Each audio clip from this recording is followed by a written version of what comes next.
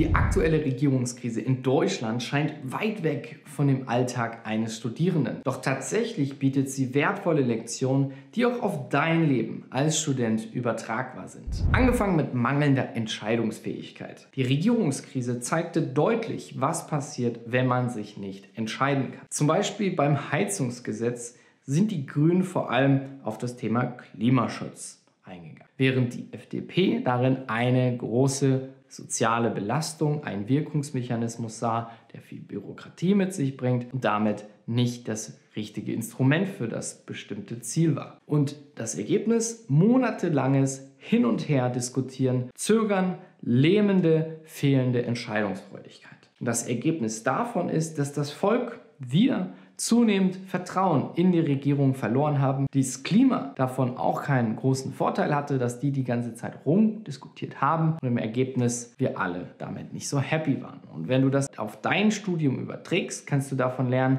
dass auch während des Studiums und auch danach es ganz viele Möglichkeiten gibt, ganz viele Optionen, die offen stehen werden.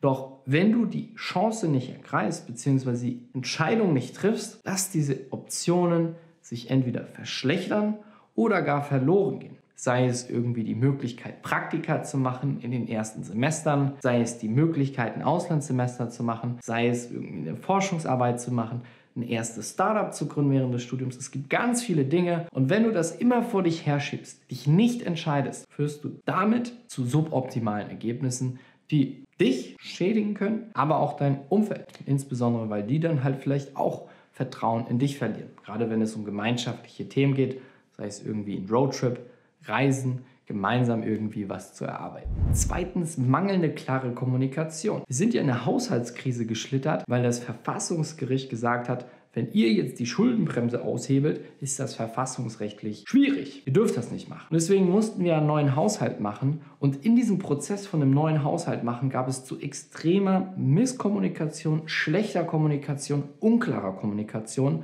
sodass die beteiligten Stakeholder maximal verwirrt waren. Zum Beispiel wurden dann Ausgaben im Wirtschafts- und Verkehrsministerium gestrichen, die eigentlich für Startups und Demoprojekte da waren. Und so ist zum Beispiel in meinem Bekanntenkreis eine Finanzierungsrunde Runde geplatzt, weil Finanzierung, die schon als gesichert gegolten haben, dann doch nicht mehr sicher waren und damit die Investoren nicht mehr in dieses Startup in meinem Bekannten investieren wollten. Was kannst du für dich lernen? Klare Kommunikation ist das A und O, wenn es um die Mitarbeit mit anderen Leuten geht oder die Zuarbeit. Zum Beispiel in einer Klausur. Wenn du es nicht schaffst, das ganze Wissen, was du hast, klar und deutlich zu kommunizieren, verlierst du Punkte in der Klausur. Das gleiche gilt in einer Abschlussarbeit, in einer Forschungsarbeit. Wenn du es nicht schaffst, was all in deinem Kopf drinnen steckt, klar zu kommunizierst, weil du entweder unsauber kommunizierst oder weil du zu viel redest, ohne wirklich deine Message rüberzubringen, hast du ein Problem. Und so auch in Gruppenarbeiten in einem Praktikum, wenn du es nicht schaffst, klar zu kommunizieren an deine Stakeholder, Stakeholder gerecht, schaffst du Verwirrung, du schaffst Zweifel,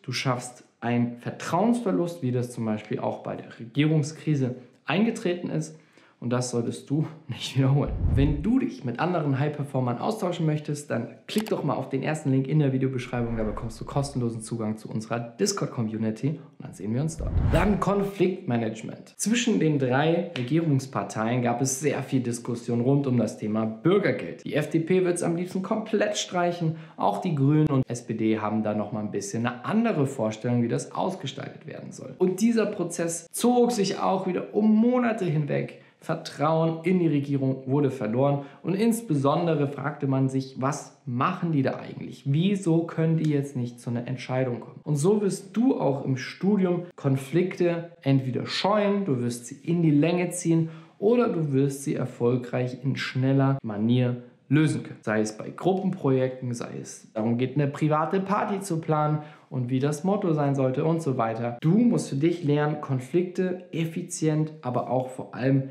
im Sinne aller Beteiligten zu lösen, sodass du zu deinen Ergebnissen, zu deinen Zielen schnell kommst. Mach's nicht wie die aktuelle Regierung, sondern versuch zum Beispiel das Thema Konfliktmanagement auch als eine Fertigkeit zu sehen, die man lernen kann, aber auch verbessern muss, wenn einem das wichtig ist. Dann das Thema Anpassungsfähigkeit. Wir standen ja vor nicht allzu langer Zeit mit der Situation konfrontiert, dass wir zu 60, 70 Prozent von den Erdgaslieferungen aus Russland abhängig waren. Und mit der Entscheidung der EU, dass wir da erstmal das Gas kappen, hatten wir eine riesige Herausforderung zu lösen in Deutschland. Insbesondere wenn es darum ging, unsere Industrien mit günstiger oder bezahlbarer Energie zu versorgen. Da wir ja so stark von Russland, dem Gas, abhängig waren, mussten wir alternative Quellen für günstiges Erdgas finden. Und da ist zum Beispiel unser Wirtschaftsminister nach Katar geflogen und auch mit anderen europäischen Ländern ins Gespräch gekommen, um zu schauen, wo jetzt das günstige Gas herkommen kann. Zum Beispiel durch den Bau von LNG-Terminals und dann den Import aus anderen Ländern durch LNG-Schiffe. Was du daraus lernen kannst, ist, dass auch dein Karriereweg mit solchen Krisen umgehen muss.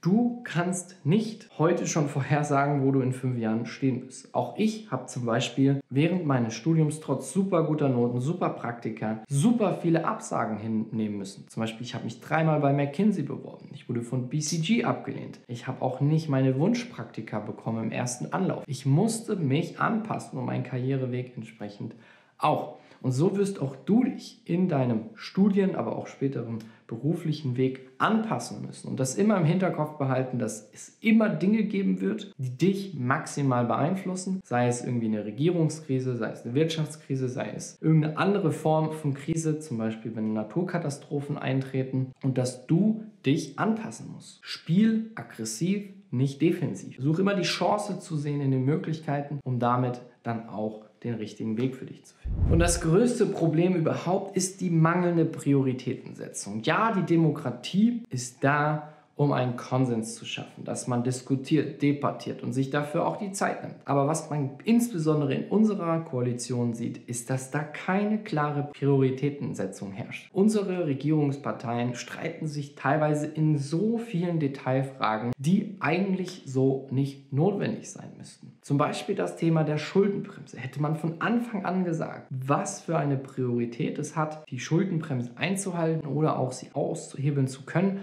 auf Basis von den wichtigen Dingen, die uns halt am wichtigsten sind, unseren Prioritäten, dann wäre es wahrscheinlich auch gar nicht dazu gekommen, dass die Regierung jetzt geplatzt ist. Und so musst auch du für dich im Studium und auch in deiner Karriere feststellen, was ist dir besonders wichtig? Ist das Gehalt? Ist das Freiheit? Ist das Flexibilität? Ist das ein hoher variabler Anteil oder ein hoher fixer Anteil? Sind das eher wenige Arbeitsstunden und dann die Möglichkeit mit Überstunden zu glänzen oder wirst du dich umgeben sein mit High-Performern, Leuten, die ohne Probleme und super gerne 60, 70 Stunden arbeiten oder mehr sogar. Du musst für dich entscheiden, was ist wichtig, weil wenn du das nicht hinbekommst, dann geht es dir wie der Regierung. Du bist langsam, du kannst dich nicht entscheiden, du sorgst dafür, dass die Kommunikation unklar ist und vieles weiteres. Alles fängt mit klaren Prioritäten an und wenn du daran scheiterst, für dich nicht festzustellen, was dir wichtig ist, dann landest du eben halt auch in so einer Krise. Was sind die besten Berufe für BWLer? Genau diese Frage beantworte ich dir hier in meinem letzten Video.